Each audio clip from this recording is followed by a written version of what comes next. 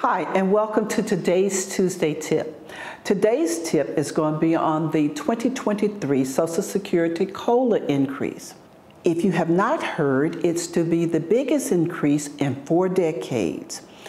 The percentage is 8.7%. Be careful in calculating and remind your residents to bring their Social Security benefits letter to you. Supposedly, the letters will be out by December 2022 so that you can calculate and determine if they will receive the entire 8.7% increase.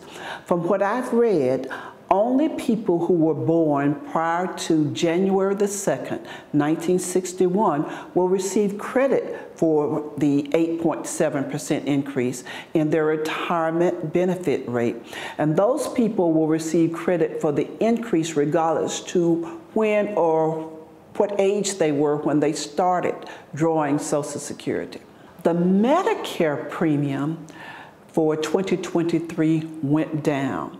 The standard monthly premium will decrease by $5.20 and will be $164.90 for 2023. The annual deductible has also decreased and will go down to 226. Now you all aren't really concerned with the deductible for Medicare, but we do have to count the premium for Medicare in our rent for our residents. So if you have any questions, just give me a call or shoot me an email. And thank you for tuning in to another Tuesday tip.